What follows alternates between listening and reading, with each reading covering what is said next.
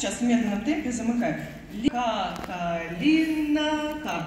Мгм. Сейчас в медленном нам нужно прям э, приучить язык э, да, движению.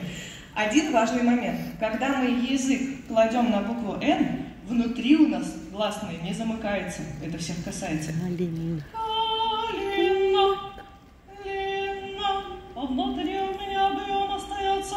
Понимаете?